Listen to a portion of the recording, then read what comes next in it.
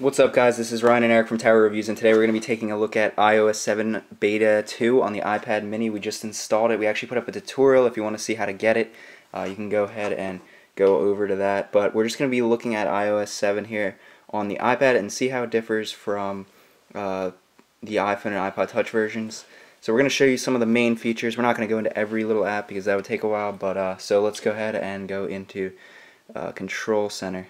So as you can see, it's completely redesigned it goes fully across the bottom and uh, it definitely maximizes the real estate of the iPad and uh, it loses some features of course. You don't have the flashlight or calculator options because the iPad is incapable of having a stock calculator app and it doesn't have an LED flash as you can see there. Um, you also have brightness still uh, airplane mode Wi-Fi Bluetooth uh, do not disturb. Airdrop portrait orientation lock, music controls, and volume. It's pretty much everything you need for quick access. And if we swipe down, we have this change notification center with the dividers for today, all in missed. Same old, same old. You can see some of Eric's notifications from Game Center, Temple Run, and things of that nature.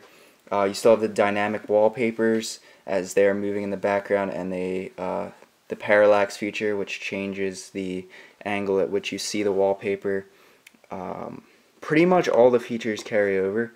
Uh, so we're just going to go ahead and show you a little bit more. The camera. You have pretty much all the same features. You have the square, photo, and video. You don't have panorama. I've uh, never had panorama before, so. And if we. Yeah. And it, it seems like you are able to zoom in video, but for some reason it doesn't work. Yeah. So I don't know if that's just a glitch that they have because it's just the first um, version of the the iOS seven for the iPads. So it's probably something they'll fix with the beta three. And messages still have the same features. You can swipe over and see timestamps, which is sort of a hidden feature not a lot of people know about. I don't think yet, at least. And uh, you have um, pretty much all the same design characteristics uh, transfer over. Also, just another cool thing that I noticed is when you like I don't know. There's like a weird, different, very different animation uh, to when you like get to the end of the scrolling. It, the whole like all the like little bubbles freak out, like scrunch up, and then they're like ah, and they go back to normal. It's pretty cool. And you still have the same gestures, which is nice. And if we take a look at Safari, the new tabbed web browsing, it actually is not the same as the phone browser. It's still just tabs. Um, but I'm, I believe you have an unlimited amount. Not sure actually. Yeah, but this is my first time ever using iOS 7 on an iPad, so bear with us here. Yeah, so it looks like you have uh, unlimited tabs, just in this dot dot dot uh, manner. It's a lot. It definitely runs a lot better on the iPad Mini than it does on the iPod Touch fifth generation. Let's go ahead and take a look at multitasking.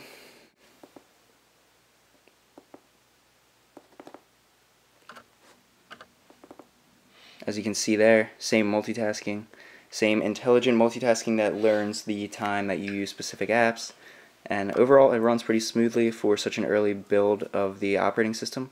So that's a quick look at multitasking. You have the option to clear apps by swiping up.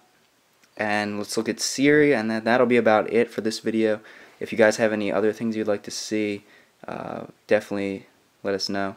Stock Siri was not on for some reason. But just to show you some of the new features in Siri, enable.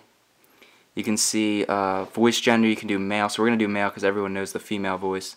And let's go ahead and hear him now, which is kind of weird to say. Lower my brightness. It's a little darker now. That's so weird.